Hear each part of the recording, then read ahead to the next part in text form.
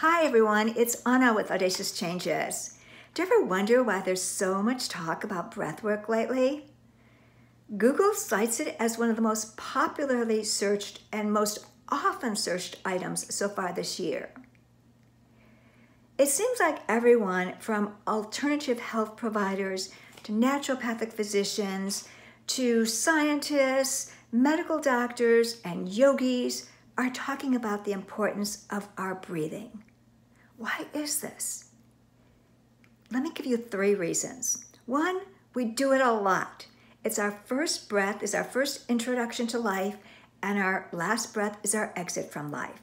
And in between, we breathe a lot, roughly 16 times a minute, 980 times an hour, 23,000 times a day.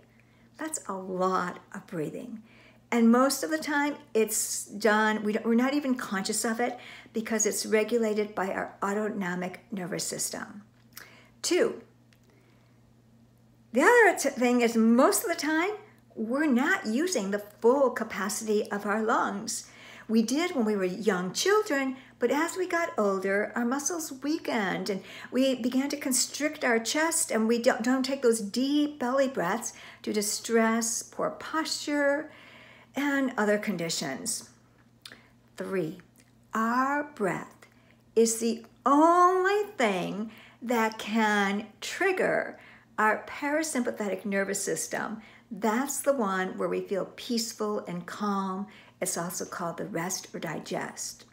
And our breath does that, this by triggering the vagus nerve, which is the vehicle that can stimulate and nudge that parasympathetic nervous system into gear.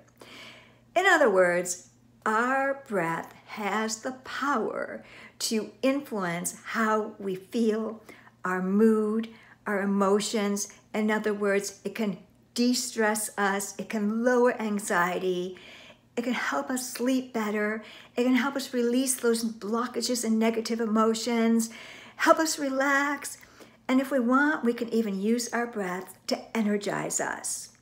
So that's why it's important to be able to influence your breath. And if you're wondering about that, I have a number of other videos on my channel about different types of breathing techniques. Or if you're in a pinch, just remember to deep belly breathe. Inhale through your nose, let the air flow down to expand your chest and into your belly, and then back up doing it slowly. Even doing that a few times will kind of shift things in your body. Give it a try and leave me a comment. This is Anna Mahan, audaciouschanges.com, where we integrate the body, mind through small daily shifts that accumulate to have audacious results on our overall health and well-being. Thanks for watching, and I'll see you on the next video. Bye.